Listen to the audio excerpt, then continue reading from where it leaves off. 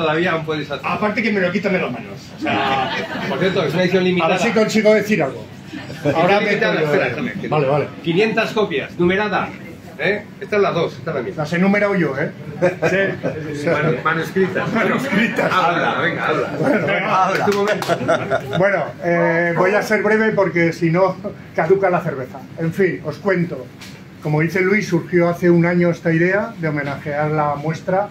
Este año todavía es el 40 aniversario, que se produjo, que fue en marzo.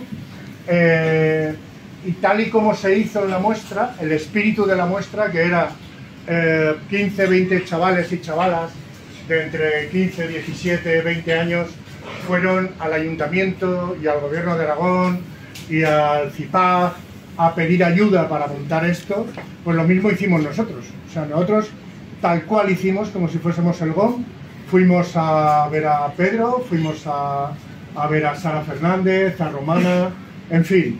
eh, los que me conocen sabéis que doy mucho por saco cuando algo me interesa.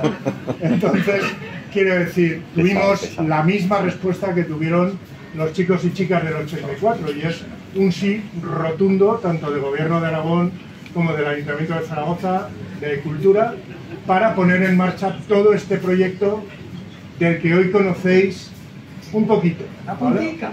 La puntita del iceberg. A partir de la semana que viene vais a descubrir muchas cosas que vamos a hacer en torno a la muestra, pero eso será la semana que viene. Eh, así que muchísimas gracias al Gobierno de Aragón, muchísimas gracias al Ayuntamiento de Zaragoza, muchísimas gracias a todos los grupos que habéis aportado esa canción, ese tema, que sé que es un trozo de vuestro cuerpo, de vuestro corazón, a este disco, colección total, y a todos los que lo habéis comprado, a todos los que habéis venido y a todos los que vais a visitar la exposición y vais a participar en todos estas- estos eventos que vamos a hacer. Eh, quiero darle la palabra a Pedro Yoki, que es el director general de Cultura del Gobierno de Aragón. Así es que, Pedro, a viva voz va a tener que ser, como si fuera una jota. Trabajar con vosotros ha sido una puta pesadilla. Nuestra resistencia a ser institucionalizados nos ha puesto al límite de nuestra capacidad de sacar Pues las cosas adelante. A pesar de eso, no nos hemos rendido, ni nos vamos a rendir. Esa muestra de resistencia tiene un sentido y me gustaría ponerle un contexto a este proyecto. Lo vamos a pasar bien en este proyecto, en el resto de acciones que quedan, pero tiene un sentido y un contexto. En 1979 fueron las primeras elecciones a ayuntamientos democráticos. Fue un hecho que cambió la historia de este país. Seguimos viviendo de eso. Pero antes de eso, la cultura aragonesa fue ensuciada de una forma cuyas cicatrices aún no hemos podido borrar completamente. Las muestras sindicales eh, del primero de mayo en el Bernabéu, las series de sellos de trajes regionales del final de los años 60 o la cinematografía de Paco Martínez Soria hizo pensar que la cultura aragonesa era exclusivamente un elogio del ruralismo. Y eso nos ha aplastado durante décadas. Sin embargo, hoy la cultura aragonesa está viviendo una etapa de esplendor sin precedentes en el cine, en la literatura, en la música.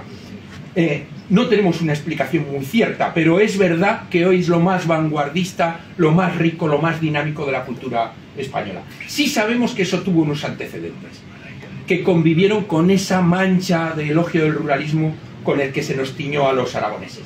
Y parte de aquello pasó en los años 80 en Zaragoza. Nosotros queremos combatir una imagen de la cultura como un monocultivo de la música clásica.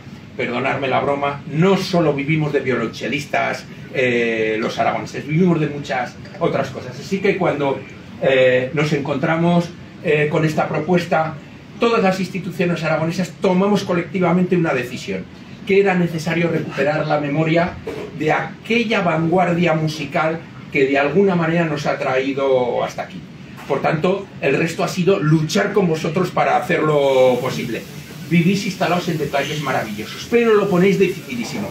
Por favor, no torturéis más a Romana, porque queremos a- seguir haciendo muchísimas cosas. Por lo demás, muchísimas gracias, nos sentimos totalmente comprometidos, no vamos a detener este pequeño homenaje eh, que nos estamos rindiendo todos los aragoneses en torno a la música eh, contemporánea y vamos a intentarlo disfrutarlo. Enhorabuena a todos y muchísimas gracias.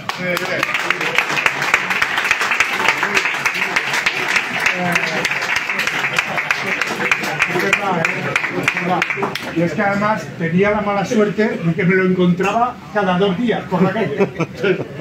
Cada dos días. Yo, yo creo que incluso le han puesto un, un orden de alejamiento.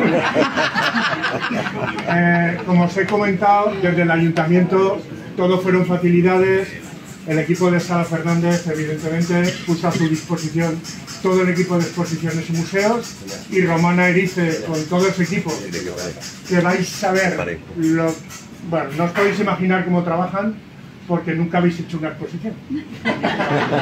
Pues eso, nosotros ya sabemos cómo trabajan y es una pasada de equipo desde, bueno, en fin, no quiero nombrar a nadie, pero lo- los voy a nombrar. Benito, Susana, Elisa, las brigadas municipales que son alucinantes cómo trabajan. O sea, de verdad, cuando veáis el trabajo que han hecho, os vais a quedar alucinados. Pero No podemos decirlo. no podemos, no podemos decir. Pero quiero que sí os diga algo, Romana Erice, que es la jefa de cultura de la sección de cultura del Ayuntamiento de Zaragoza, a la que tanto mal le dado. Eh, bueno, la verdad es que para nosotros, eh, para mí fue un placer escuchar que nos, esta propuesta, porque era volver a, a- meternos, a, a navegar en nuestro pasado más maravilloso, porque es que todos tenemos un recuerdo fantástico de ese pasado, de esa época, de esos músicos.